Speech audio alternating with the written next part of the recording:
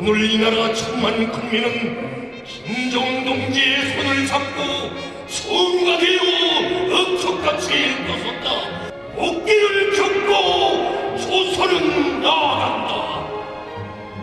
최고 사령관의 수천만 손을 들여 대누리어 나가는